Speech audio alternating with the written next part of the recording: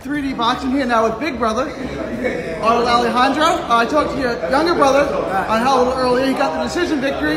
You got the knockout victory. Congratulations. Uh, tell us about your performance. Uh, I mean, we came in there knowing he was going to be a tough competitor.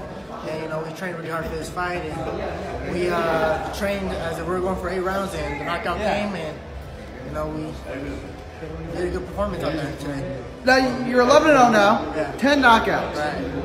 It's good to get rid of score the knockouts. But I was talking to you, brother. You, I mean, do you want to go six rounds, eight rounds? I mean, do you want someone who can stand up to you, or are you happy with stopping everyone early? I mean, I mean, I don't, I, I don't look for knockouts, but they, they come. So I mean, why not? You know, the opportunity's there. I mean, we don't get paid for overtime. You know, we just get the knockout. Yeah, I, I can tell you. Um, I was sitting in the second or third row of the media section, and I, I could hear your shots landing like a shotgun going off. You know, the, the power is real. Um, you're going to get a lot of knockouts uh, with, that kind of power. Um, I, I talked to your, your younger brother about this too. What's it like for the two of you to be going through this and, and, and going up through the ranks together? I mean, it's it's a nice feeling. Me and my little brother in the same card because you know that's pretty rare. You know, it's, and then me and him in the same card is like more motivation. You know, like his performance, and I'm like, oh, damn, you know, I gotta show out. You know, do better than him.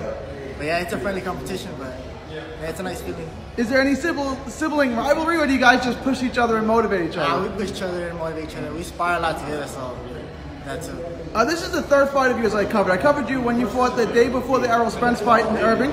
Um, then I covered March, you, yeah. in March. Right. Um, and then I covered uh, when you fought in Mississippi, and, and now here uh, in the Valley. Right. Each time you fought on the card with your brother. Is that something you guys want to continue to do? I mean, hopefully, I mean, it stays that way because that's a nice competition, and you know, it's just it's just cool having him on, on my side.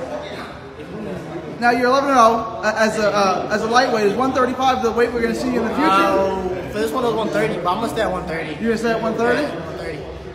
I love it on that. Like I said, what can we expect? When can we expect to see you back in the ring? And when do you want to fight higher level fighters? Uh, we've been looking at higher level, higher level fighters, and this was my first eight rounder, and you know, hopefully we finish out the year with one or two more fights, eight rounds, and then we look for a 10 rounder fight after that, starting early next year. What grade would you give your performance? Uh, B plus. Paul was tough. He was, he was a good fighter. yeah, he was, yeah, he was in a like walking apart, but yeah, I mean, nothing good. I like what I did. All right, congratulations, champ. Arnold Alejandro Alejandro. from Dallas, Texas. Tell everyone where they can find you on social media. find me on Instagram Arnold Alejandro Jr. and Facebook Arnold Alejandro and Twitter Team Alejandro 96. God bless, champ. Thank you.